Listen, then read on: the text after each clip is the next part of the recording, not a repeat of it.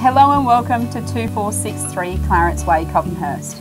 This property is rich both in history and in features and has been meticulously maintained over the years by our vendors Barry and Rita.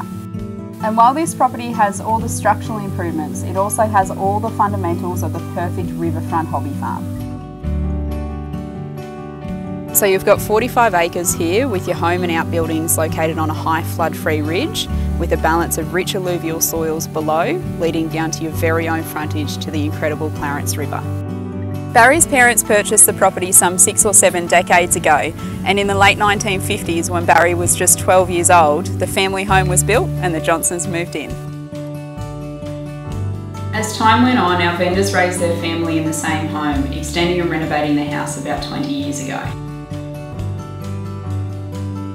During this renovation, the feature wall was added to the lounge room using timber from the old original homestead which can still be found on the property. Rumour has it the timber is red mahogany and sure does add charm and character to the home. Two new sheds were built on the property, one for the machinery and equipment and another close to the home for the vehicles.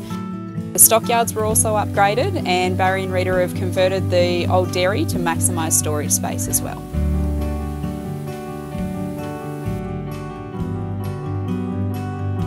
Our vendors have enjoyed the farming life here, along with the convenience of being so close to a village and just over 20 minutes to Grafton, but the time has come for them to downsize and they are keen to sell.